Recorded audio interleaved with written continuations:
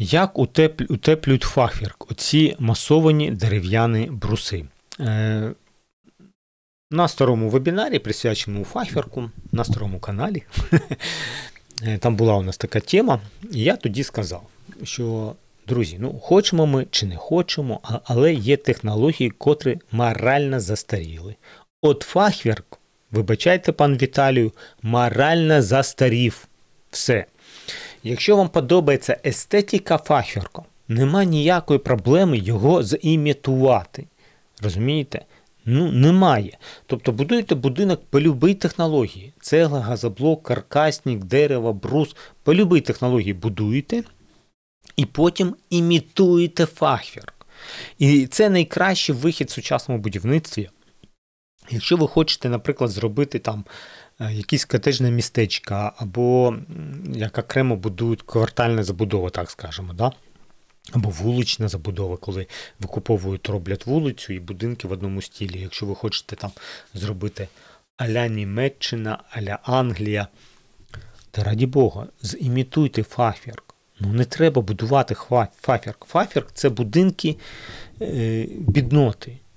Розумієте, бідноти. Тобто е, будувалися вони з підручного дерева, масивного, і заповнювалися всім, чим тільки можна каменем, битою цеглою, глина, соломою і так далі. Розумієте? Тобто люди, котрі не могли собі дозволити збудувати цегляний будинок або будинок там по іншим якимось технологіям, будували фахверки. На сьогоднішній день всі фахверки, от ми е, їздили, я був в Німеччині, їх там багато. Ми з Галкою були в Англії, там є ціле містечка, котре захищаються державою, цілі вулиці. І от фахверки стоять ці. Так, е, це дуже живописно, це дуже затишно. Ці е, квіточки під вікнами, ці ставні, цей фахвір. Але от коли ми, от проходили екскурсію, а потім якось так зупинилися, розмовляли з одним е, владельцем цього фафірку, це на першому поверсі невеличка крамниця, на другому поверсі вони живуть. Да? Ну і там ще мансардний поверх якийсь був. І от ми просто ну, розмовляли, і він ну, і запитали, от, ну, а як от під, живеться в цьому будинку. Ну, Він сказав від душі все, що думав, що якби він міг, він би здихався цього будинку вже давним-давно. Ну, реально, тому що будинок потребує дуже багато грошей на підтримку. Без грантів цього неможливо зробити. Е, щось поміняти, перепланувати, змінити фасад забороняється. Тобто крива підлога, крива стеля, низька стеля, неутеплений дах, там е, потребують велику кількість на опалення. Е, шашель, котрий жре це дерево, його треба ремонтувати. І вони би здихались. Але вулиця захищається державою, тому що вона туди їдуть туристи, вони залишають гроші. Це бюджет цього містечка. Заборонено все.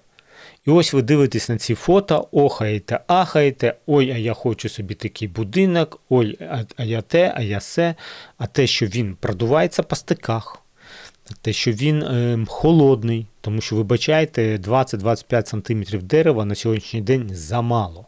Замало. У нас пінопласту повинно бути вже на фасаді 25 см. По нормативу. Подивіться нормативи. Яке дерево? Яке утеплення? Ви що?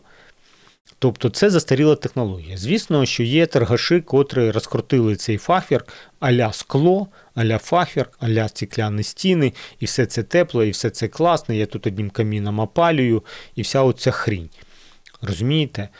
Е, тому е, це все можна розповідати, але є таке поняття, як енергобаланс будинку. І ви нічого з цим не поробите. Якщо склопакет має теплоспротив 1,4 а стінку ви робите на сьогоднішній день, у нас замовники замовляють вже 5-6, то вибачайте, склопакет ну, мінімум 4 рази холодніше сучасної стіни. В 3-4 рази холодніше. Просто. Якщо ви скажете, а я поставлю енергоефективний, ну добре.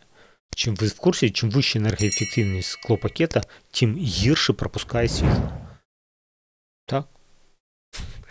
От, е, Тому е, раніше от вікна мали менший розмір, але пускали світла більше, ніж сучасне вікна, вроді більша площа, а світло по факту дає менше.